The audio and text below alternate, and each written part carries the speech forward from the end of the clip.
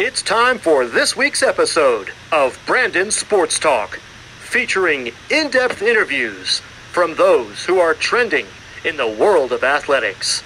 And now, here's the host of Brandon Sports Talk, Brandon Pate.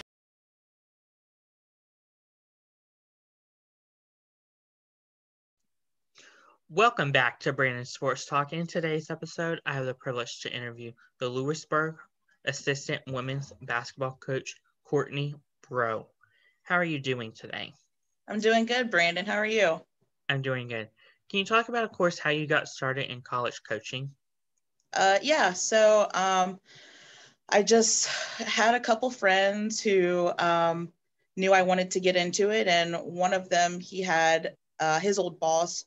She had a friend who was taking a job, and they kind of connected us together. And he was looking for an assistant here at Louisburg, and I mean, it all kind of happened really fast, but here I am, and I'm really enjoying my time here so far. Have you coached anywhere else besides, of course, Louisburg?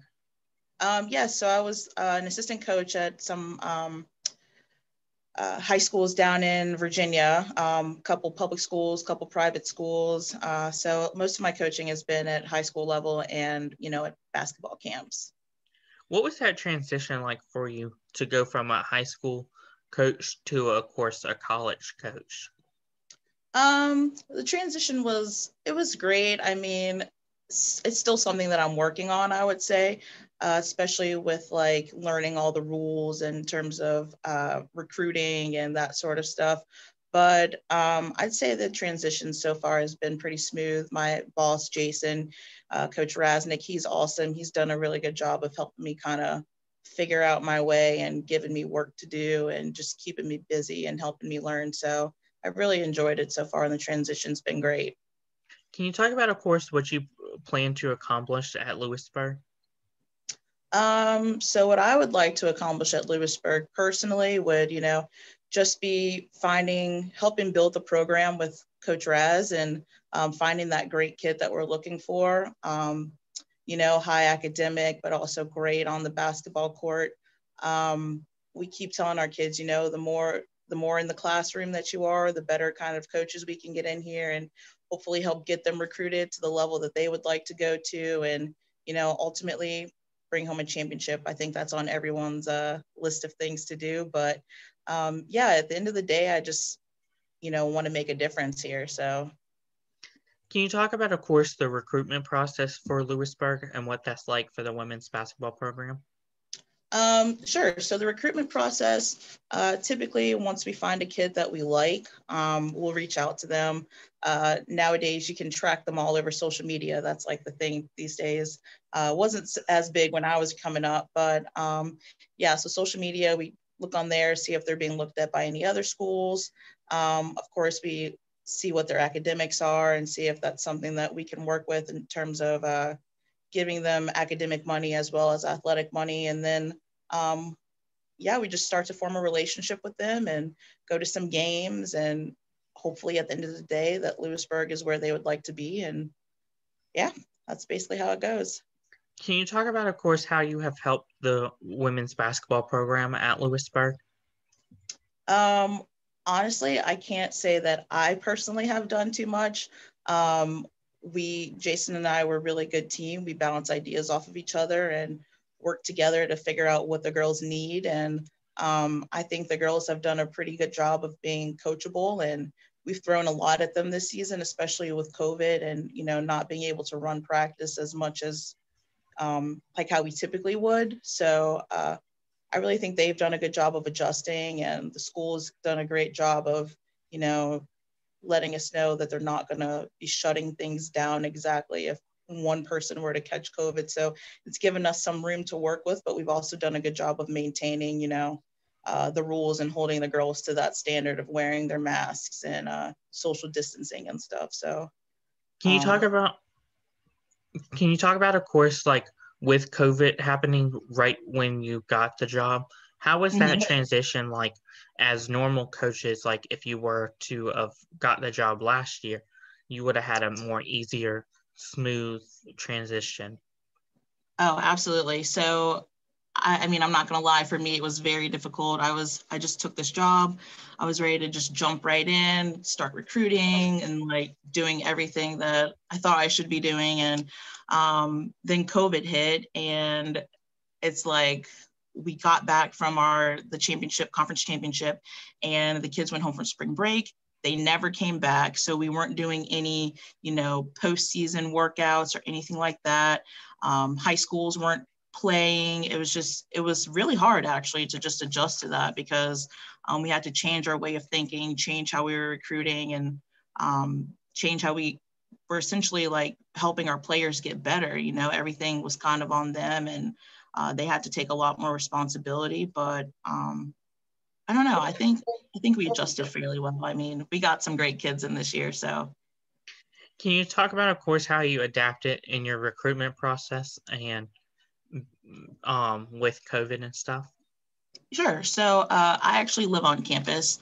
Um, so I I'm also the community director and um, the housing coordinator here at Louisburg. So I live here. Um, with us not being able to have people on campus, I had to sort of transition to doing virtual tours. So, um, you know, we had an iPad and me, and I was just walking around campus, just trying to give the kids as best of a Louisburg feel as I could. Um, you know, Jason did a good job of, you know, telling me if he'd reached out to any kids because he couldn't be here at the time because it was essential staff only. Um, so then it was my job to go find those kids and see if they want to go on a virtual tour and just get to know them. And, you know, I think we, uh, I think we changed, we adapted fairly well in terms of uh, how we were getting kids on campus and showing them the Louisburg um, College campus. So yeah. What does an official visit look like for prospective student athletes at Louisburg? Uh, so typically what we'll do is, you know, we'll have them and their families on campus, um, show them around. They'll have a meeting with admissions, um, kind of discuss the financial side of everything. And then um, we'll take them on a tour. Uh, they might have a meal in the dining hall. Um, and then hopefully they're either watching a game or uh, staying for practice just to see how, you know, things are run over in the sports side.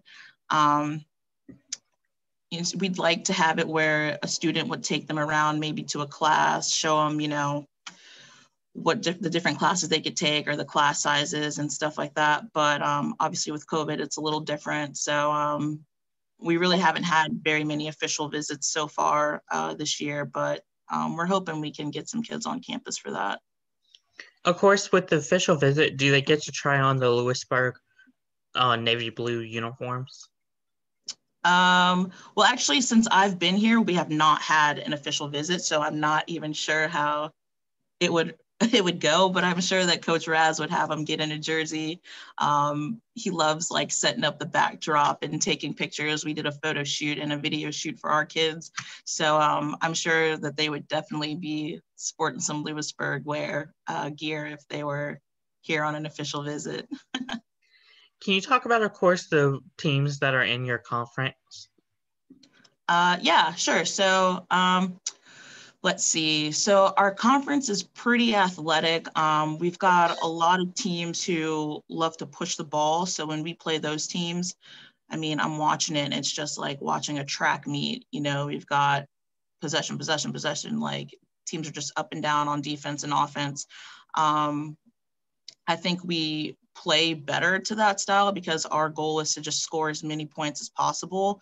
Um, Coach Raz looks to score over 80 points every game. So, I mean, that in terms of how our competition plays works in favor for us. Once they start slowing the ball down and we're having to run half court sets, I would say that's where we struggle a little bit more. But um, yeah, I think everyone in our conference is, you know, competitive and anyone could win any night and people are always getting new players in. So um, I think I think our conference is a tough conference to play in each night. Who are some of those teams that are, are in your conference? Uh, so teams that are in conference, you've got uh, Wake Tech. Um, they're actually not playing this season because of COVID, but they were the uh, champions this past this past year. Um, we lost to them in the conference championship. Um, there's USC Salkehatchie, um, Bryant and Stratton, Cape Fear, uh, Catawba Valley, Brunswick. Um, I'm sure I'm forgetting someone just because, you know, there's so many schools, but uh, yeah, those are those are a lot of the top schools that we play. What advice would you have upcoming high school athletes looking to play college women's basketball?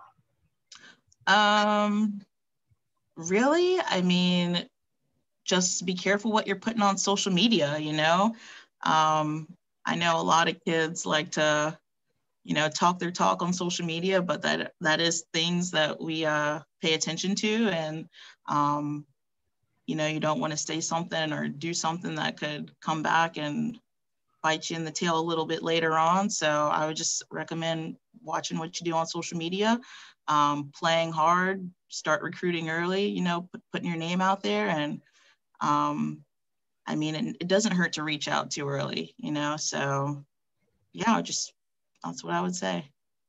What advice would you give upcoming college coaches looking to get started, just like how you did? Um, I would say networking is really important um, and also uh, being coachable, you know, like being as coachable as you would want your kids to be, not coming in thinking that you know everything and not being open to another style of basketball. You know, basketball is always changing, and that's one of the reasons I love it.